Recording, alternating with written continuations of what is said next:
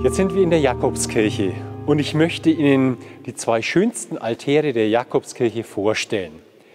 Den Hochaltar, den sogenannten Zwölfbotenaltar von Friedrich Herrlin und den Heiligblutaltar. Der eine Altar hier steht für das Fernpilgern auf dem Jakobsweg. Auf der Rückseite hat er nämlich Legenden gemalt von dem heiligen Jakobus, dem Jünger Jesu und dem Patron der Pilger. Wenn man kurz, kürzer laufen möchte oder wollte, ist man früher zur Heiligblutreliquie gegangen.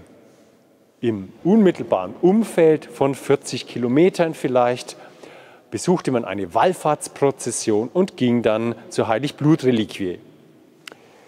Dieser Altar hat in der unteren Bildleiste die zwölf Jünger Jesu gemalt. In der Mitte ist der segnende Christus zu sehen, links und rechts mit Namen, Schriften unten ähm, die Jünger Jesu. Auf der linken und auf der rechten Seite sieht man die Kindheitsgeschichte Jesu. Das sind Advents- und Weihnachtsthemen. Und in der Mitte sehen Sie sechs verschiedene Heiligenfiguren, angefangen von der Elisabeth von Thüringen, Jakobus, Maria, Johannes unter dem Kreuz und Leonhard und Antonius.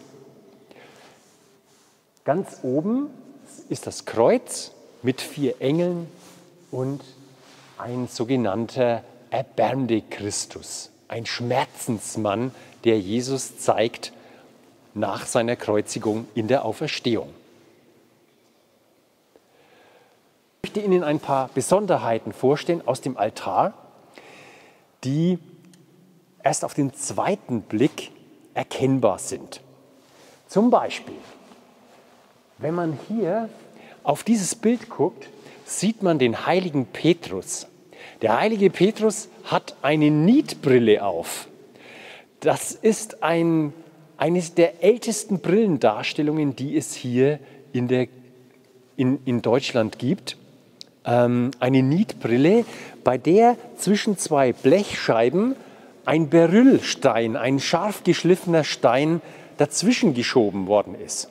Wahrscheinlich war der Friedrich Herrlin etwas weitsichtig und musste, wenn er malen wollte, immer seine Brille abnehmen oder eine Brille aufsetzen. Und äh, er hat sich von venezianischen Kaufleuten eine Brille kommen lassen, hat sie ausprobiert und war begeistert von dieser Erfindung. Es ist also so gesehen ein sehr moderner Altar. Er wurde 1466 von dem Schüler von Roger van der Weyden, Friedrich Herrlin, gemalt und war zu seiner Zeit hochmodern mit dieser Brillendarstellung. Heute müsste man vielleicht ein Tablet in einen Altar malen um es zu schaffen, dass er genauso modern ist wie zu den damaligen Zeiten. Bei dem Altar von Friedrich Herrlin gibt es auch einiges zu entdecken, wenn man sich hinter dem Altar befindet. Hinter dem Altar sind nämlich auf die Flügel des Altars Jakobspilgerlegenden gemalt. Und eine möchte ich Ihnen besonders vorstellen, das ist die hier links oben. Man sieht hier den heiligen Jakobus, wie er in einem Steinwagen liegt, von zwei Stieren gezogen. Es sind zwei seiner Schüler dabei. Einer deutet mit der Hand auf das Eingangstor von Rothenburg und im Hintergrund kann man die älteste Stadtdarstellung von Rothenburg sehen, von 1466.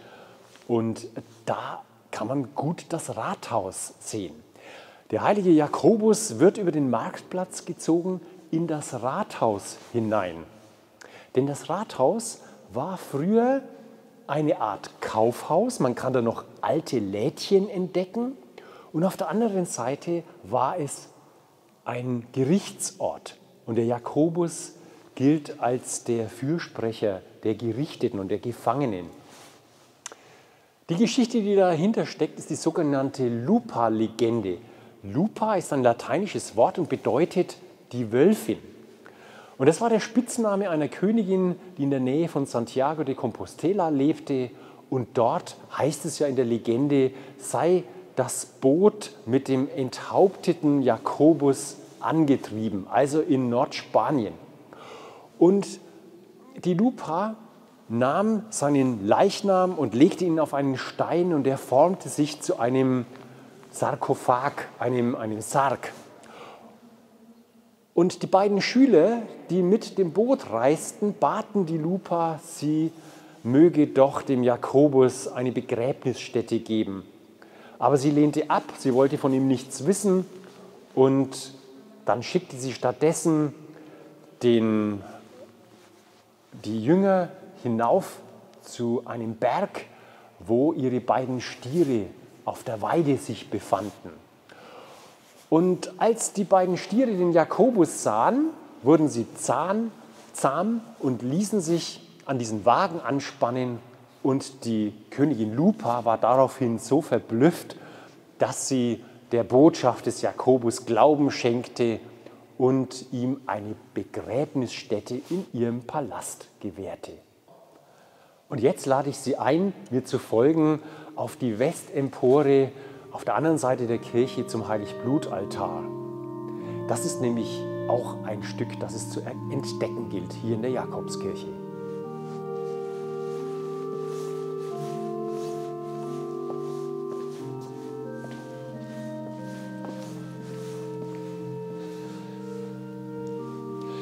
Jetzt sind wir hoch über der Klingengasse in der sogenannten Heiligblutkapelle. Diese Kapelle hat ja zwei Türen, die angeschrägt sind. Das heißt, es sind ganz viele Menschen hier hereingekommen und hinausgegangen in einer langen Prozession in der Zeit des Mittelalters, als diese Heiligblutreliquie noch eine große Rolle spielte. Heute steht der Heiligblutaltar wieder hier oben an seinem ursprünglichen Ort. Tilman Riemenschneider hat ihn geschnitzt. Tilman Riemenschneider ist ja ein Würzburger Bildschnitzer, weltbekannt. Und hier in Rothenburg und in der Umgebung findet man auf der ganzen Welt am meisten vollständige Riemenschneider-Altäre. Hier in St. Jakob, drüben in der Franziskanerkirche, aber auch Einzelstücke wie in der Johanneskirche findet man hier. Drunten ist zu sehen der Maria Krönungsaltar, in der Franziskanerkirche der Franziskusaltar. Man sieht den Ludwig von Toulouse, auch in dieser Kirche. Und das schönste Stück ist dieser Altar. Und der Altar, der hat seinen Namen, weil er ein Kreuz hat, das ganz oben etwa in fünf Metern Höhe ist, mit der Heiligblutreliquie. Das klingt nun sehr abenteuerlich, wie wenn Kreuzritter den Heiligen Gral nach Rothenburg gebracht hätten. Und das kann man auch manchmal noch lesen. Aber es gibt eine viel einfachere Erklärung für die Heiligblutreliquie. Es ist so, dass früher die Priester den Kelch für das Abendmahl, für die Eucharistie nach oben heben sollten. Und da ist es einem Priester nach der sogenannten Wandlung, also wenn die Einsetzungsworte gesprochen wurden, die damals Jesus auch gesagt hat, als er das Abendmahl einsetzte, als diese Worte gesprochen worden sind, da nannte man das den Wein dann anschließend heilig Blut. Es ist also ganz normaler Messwein, den ein Pfarrer wahrscheinlich aus diesem Kelch verschüttet hat. Dann lagen die Tropfen des Messweins auf der Altardecke und man wusste nicht recht, was man damit anfangen sollte. Man schnitt diese Tropfen aus, beauftragte einen Goldschmied, ein Schmuckkreuz anzufertigen und in der Mitte des Schmuckkreuzes ist eine Bergkristallkapsel und dort hinein hat man die, dieses Läppchen mit den Tropfen des Blutes Christi hinein. Auch ein Stück von der Schuhsohle des heiligen Jakobus oder ein Stück von der Dornenkrone Jesu soll darin enthalten sein. Vor einiger Zeit war hier einmal ein Gerüst aufgebaut und man konnte direkt hinaufgucken zur Heiligblutreliquie und ich habe hineingeschaut in den Bergkristall, ob ich da was entdecken würde. Aber man kann, weil das Bergkristall ist etwas trübe, nicht so genau erkennen. Im 17. Jahrhundert aber ist mal ein Mesner hinaufgestiegen, hat die Bergkristallkapsel aufgemacht und hat nachgeguckt und hat da auf Latein einen Zettel gefunden mit der Inschrift, äh, dass da drei Tropfen des Blutes Christi zu finden seien. Ich hoffe, er hat es wieder reingetan. Ja, und dieses äh, ist entstanden im Jahr 1270. 1270, lange bevor Tilman Riemenschneider lebte. Er hat dieses Kreuz überliefert bekommen und hat erst seinen Altar dann wie bei einer Monstranz, einem Zeigegerät, ähm, einem Zeigegefäß, äh, dann drumherum gebaut. Alles weist auf dieses Kreuz mit der Heiligblutreliquie. Eine Besonderheit hat er in den Altar hineingeschnitzt. Das ist nämlich das Abendessen Jesu, wie er es genannt hat, am Gründonnerstag, das Abendmahl Jesu. Und er hat anders, als es viele Altäre hat, haben, den Judas, den Verräter, nicht irgendwo an den Rand gestellt, sondern in die Mitte des Altars. Judas geht auf Jesus zu und Jesus reicht ihm mit seiner rechten Hand das heilige Brot. Ein Stück Brot, zu dem er vorher gesagt hat, dies ist mein Leib. Was so viel heißen soll wie, ich gebe mich mit Leib und Seele für euch hin. Wenn man in den Altar hineinblickt, dann sieht man einen Jünger, der schaut aus dem Altar heraus.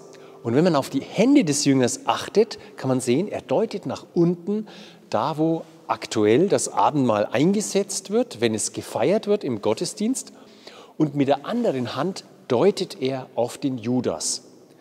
Das ist im Zusammenhang von Schuldvergebung zu sehen oder von Krankheit. Denn die Menschen schleppten hierher ihre Wunden, ihre Krankheiten und beteten hier, um Heilung zu erfahren. Und wenn sie dann nach Hause gingen und Heilung erfuhren, dann berichteten sie es nach Rothenburg und das ist niedergeschrieben in einem sogenannten Mirakelbuch, das erzählt von den Wundern, die diese Heiligblutreliquie getan haben soll. Für die Adventszeit ist ganz wichtig auch das linke Bild. Da sieht man nämlich den Einzug Jesu nach Jerusalem. Er reitet als Friedensbote, als Messias und Heilsbringer, Friedensbringer in die Stadt Jerusalem hinein auf einem Esel, also einem bescheidenen Tier, nicht auf einem Schlachtross oder so etwas. Hinter ihm sind die zwölf Jünger Jesu, vor ihm sind die Menschen, die in der Stadt wohnen und die sich freuen, ihn zu begrüßen. Sie sollten sich etwas Zeit nehmen, den Heiligblutaltar zu entdecken, denn man sieht auch Dinge, die man normalerweise nicht auf den ersten Blick sieht. Ganz rechts oben zum Beispiel einen kleinen Vogel. Man sagt, das sei ein Stieglitz. Ein Stieglitz, der einen sehr spitzen Schnabel hat und deswegen an die Dornenkrone Jesu erinnert. Entdecken Sie ihn